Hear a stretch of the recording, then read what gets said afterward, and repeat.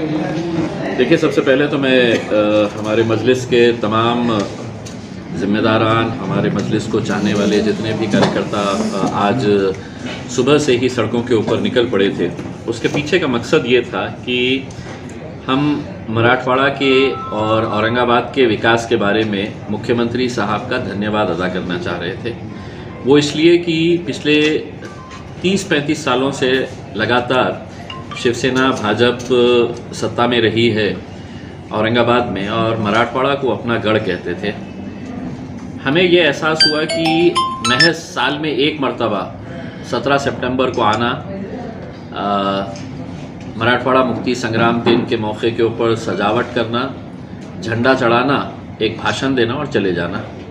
इसके अलावा मराठवाड़ा के लिए क्या किए हैं? हम ये सवाल जब उठा रहे हैं तो इन्होंने शिवसेना ने एक पुस्तक निकाली है, सुपर संभाजी नगर नाम से, और उस पुस्तक के अंदर ये बताया है कि हमने कितना विकास किए हैं। उन्होंने ये बताया है कि हमने चौदह कर्तृत्ववान महापौर इस शहर को दिए हैं करके।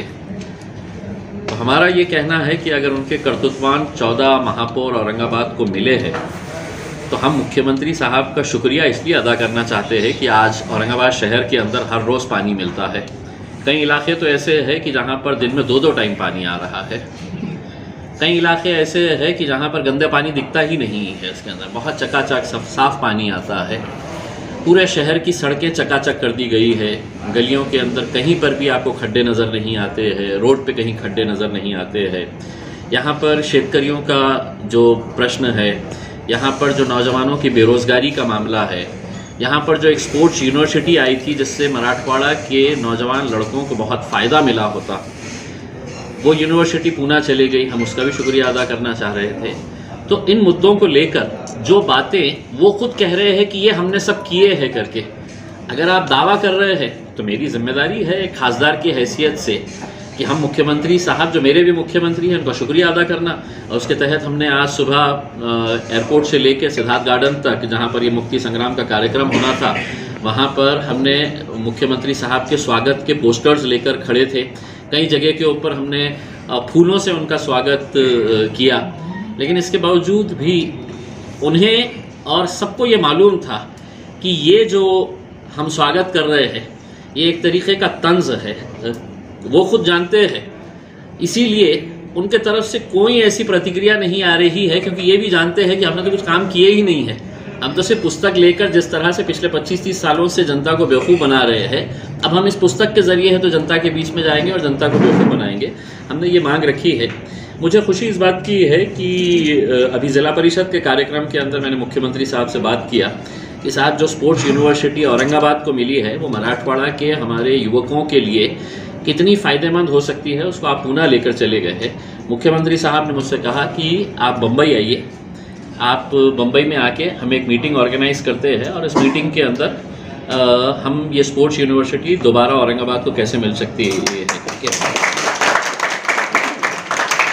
तो हम जाएँगे बम्बई जाएँगे और मराठवाड़ा के युवकों की जो भावना है वो भावनाओं को हम मुख्यमंत्री साहब के पास तक पहुंचाएँगे कि जिसको आप गढ़ कहते थे उस गढ़ के अंदर अगर कोई अच्छा काम हो रहा है तो उस काम को आप अमल करिएगा। इस बार तो हमने तंजिया तौर के ऊपर उनको फूलों से उनका स्वागत किया है। अगर स्पोर्ट्स यूनिवर्सिटी मिल जाती है हाँ, तो हम उनके ख़त्मों के अंदर पूरे फूल बिछा देंगे उसमें अगर मराठवाड़ा को आएँगे और हकीकी तौर पे उनका स्वागत करेंगे। सर मुख्यमंत्री ने तो कहा है कि हमने विकास बहुत करे विरोध करने वालों को दिखाई नहीं दे रहा। नहीं अगर वो करे है तो मैं खुद चाह रहा हूँ कि उन्होंने बताए कि मराठवाड़ा के लिए क्या क्या किया गया है करके। देखिए मैं आपको आंकड़े समेत बताता हूँ कि मराठवाड़ा से जो पैसा इकट्ठा होता है वो छः हज़ार करोड़ रुपया मराठवाड़ा से सरकार के पास जाता है छः हज़ार करोड़ रुपया। उसमें से वापस मराठवाड़ा को कितना मिलता है? तो छः सौ करोड़ रुपये। छः हज़ार करोड़ आप यहाँ से लेके जाते हैं और वापस हमको देते हैं 600 करोड़। यानी कि 10 परसेंट पैसा हमको वापस मिलता है। औरंगाबाद का अगर बैकलॉग अगर हम देखेंगे तो तीस हज़ार करोड़ रुपये से ज़्यादा का है। हम तो ये उम्मीद कर रहे थे कि झंडा चढ़ाने के बाद जो भाषण दे रहे हैं, मुख्यमंत्री साहब ने कम अज़ कम ये घोषणा कर दे कि हम ये अनुशेष भरने के लिए हम पहला पैकेज के तौर के ऊपर मराठवाड़ा को हम पाँच हज़ार करोड़ रुपए की घोषणा करते हैं।